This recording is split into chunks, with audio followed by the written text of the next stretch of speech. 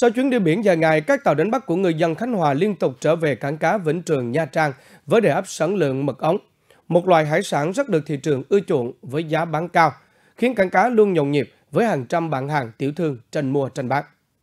Những ngày này, các tàu đánh bắt của người dân Khánh Hòa tất bật trở về cảng cá Vĩnh Trường, Nha Trang sau chuyến đánh bắt dài ngày tại các vùng biển Trường Sa và Bình Thuận.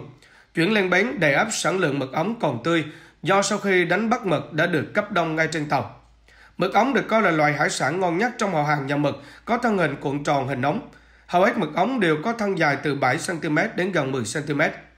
Mực ống nhỏ rất được thị trường dễ tiêu thụ vì chế biến được rất nhiều món ngon và bổ dưỡng nên giá bán cho bạn hàng thương lái cũng rất cao, khoảng vài trăm nghìn đồng mỗi ký tùy theo lớn nhỏ. Nên số lượng mực ống đánh bắt được bao nhiêu đều được bạn hàng tranh nhau thu mua hết. Trúng được nhiều mực ống sau nhiều ngày đánh bắt trên biển cùng với giá bán cao khiến ngư dân rất phấn khởi, coi như lọc biển trời cho trong những tháng đầu năm.